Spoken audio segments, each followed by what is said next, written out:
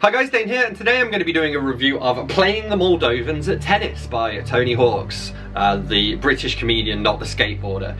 I'm going to read you the blurb, I'm going to go through and check out some of my tabs, and then I'll share my overall thoughts and rating at the end. It's non-fiction. All I knew about Moldova were the names of 11 men printed on the inside back page of my newspaper. None of them sounded to me like they were any good at tennis. An eccentric wager finds Tony Hawks, a man who loves an unusual challenge, bound for the little-known Eastern European state of Moldova. His mission? To track down members of the country's football team and persuade them to play him at tennis.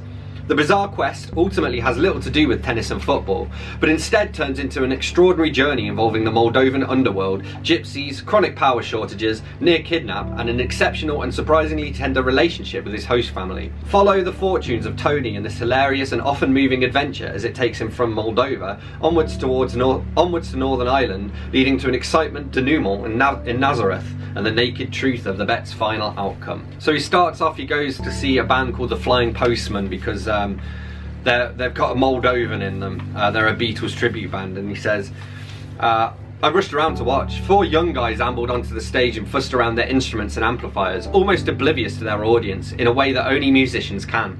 They were in 60s outfits, but didn't seem to be trying to resemble the Beatles in any way. The tallest of the four strode proudly to the microphone. We are not like the early Beatles, we are like the Flying Postmen now, he announced, somewhat arrogantly to a stunned crowd. My name is Andre, I am not Paul. So yeah, he goes over to Moldova and uh, someone says, the worst thing about it is the manholes. The manholes? Yes, they have no covers. They're made of metal, so organised gangs steal them and melt them down for profit. I see, nice mix. Pitch darkness and random holes in the ground.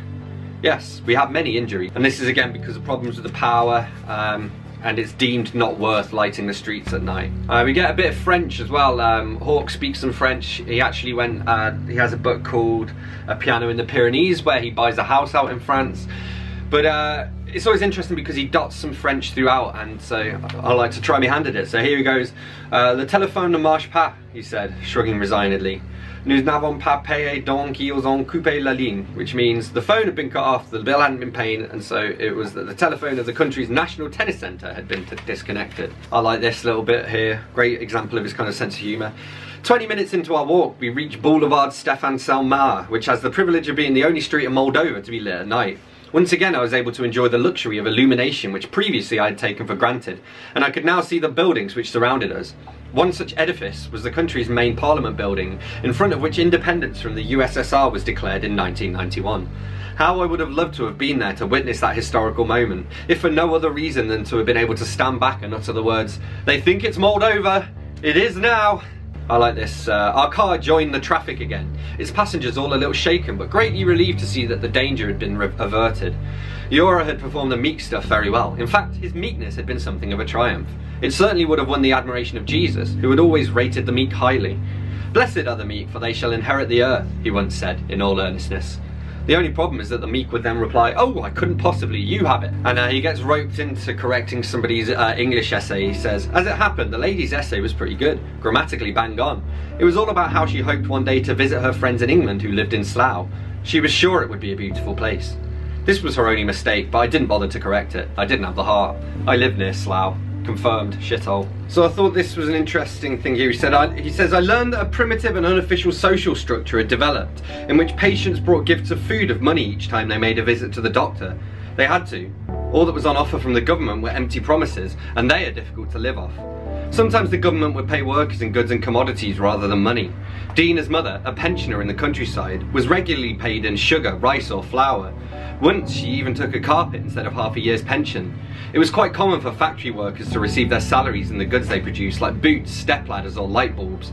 I was even told of one poor fellow named Vitali who worked in a factory which made bicycle pumps, and all he received at the end of each month were hundreds more of these infernal things which he had to try and sell at the market. Perversely, his survival depended on inflation. I know he's speaking French to somebody because French quite often is the only language they had in common. He says, Merci beaucoup, I said, shaking the manager's hand. J'espère que tous vos jeux seront assez faciles que ça marche contre Nistru. He smiled what did all that mean smile and gave a friendly little wave to the camera as he and his entourage made their exit. It means Thank you very much. I hope that all of your games will be as easy as your match against Nistri. He meets a guy called Big Jim as well, which tickled me because there's a guy called Big Jim in my novel Meat. And he's talking about tennis. He says, it is said that Pete Sampras once broke 14 sets of strings during 14 minutes of practice. Then he says, uh, the national anthem's being sung, and he says, why should God save the Queen? Certainly ahead of anyone else. Were we suggesting that there ought to be some kind of pecking order for God's protective hand? If so, what number was I going to come in at? Number one, The Queen. Number two, Sir Cliff Richard.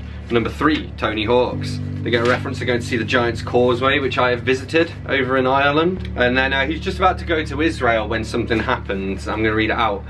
The selfish accent, the selfish actions of Saddam Hussein nearly messed things up for me. He had incurred the wrath of the Americans by refusing to let UN investigators see if Iraq had as many evil weapons of destruction stashed away as they did. The US decided that airstrikes were necessary, and Britain immediately agreed with them in accordance with the special relationship which required them to do exactly that. For a few scary days it looked like things would escalate horribly and that Israel would be targeted by Saddam's Scud missiles, just as it had been in the Gulf War. Fortunately for the interests of world peace, Saddam backed down after having the crap bombed out of him, but not before having claimed it as a magnificent victory. This is an excellent tactic to adopt should you ever have the misfortune of being flattened by someone in a pub brawl. Simply pick yourself up and say, well that showed you, and then walk proudly off to nurse your black eye in private. And um, this is interesting too, he says, It has always seemed a great shame to me that the moderate cannot arouse the same passions that the fanatic can. But the fact remains that organised marches accompanied by chants of, we'll talk and we'll talk until we find a compromise, or let's try and see this from both points of view, shall we, tend not to set the heart pumping and blood coursing through the veins. The suicide bomber is always going to grab the headline ahead of the decent chap handing in a signed petition. The hunger striker is always going to provide better copy for the newspapers than the bloke who just lays off cheese for a month. The trouble is that the moderate's hands are tied by his very rationality. And so it as and so it is that the peace-loving majority are pushed around by fundamentalists, fanatics, and extremists. And um, then he talks about going out on New Year's Eve in Israel, and uh, his thoughts on New Year's Eve kind of different to mine, kind of the same. I just hate New Year's Eve. I think it's stupid. I don't know why we we celebrate the end of uh, the Gregorian calendar as opposed to like the solstice or something like that. But hey ho. Uh, a further problem on New Year's Eve is the inevitable feeling that you've made the wrong decision. Invariably on this festive night, you're invited to at least three parties, but you have to plump for only one of them. At 11.30pm, as you find yourself listening to a carpet salesman extolling the virtues of a hard-wearing deep pile and stressing its advantages over a basic linoleum, you just might begin to wonder whether one of the other parties might have been the better option. Presumably this has been the way for centuries. Your average caveman probably saw in the new year by sipping mead and wondering whether he might have been having a better time if he'd gone to Ogsdu four caves up. So yeah, overall I did enjoy playing the Moldovans at tennis. Um, sort of mid-tier I guess in terms of where I'd rank it amongst Hawks Bucks. Uh, I gave it a pretty solid 3.5 out of 5 and would recommend if you're looking for something humorous, especially at the moment when the world's gone to shit and you can't travel. So yeah, playing the Moldovans at tennis.